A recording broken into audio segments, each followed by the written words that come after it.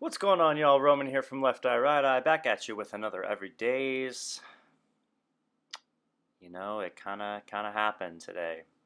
I've had this kind of rough timeline where I say like I have a a rough deadline of midnight for the Everydays, but it's really like 9 a.m. because sometimes I like stay up late, and there was a couple of times in the past where I went to bed at like 9 p.m. and woke up at like 6 in the morning and did it before 9 a.m.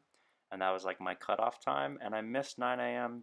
So technically, this one is uh, this may be like a, a start over on January uh, 15th, but uh, fuck it, I'm gonna just you know keep doing what I've been doing, um, and not really like think of it as too much too big of a deal. Um, and uh, and I turned some pages and uh, recorded it and fucked around with RC20, and I'm gonna do another one uh, for the 15th. And I'll see you tomorrow. God bless.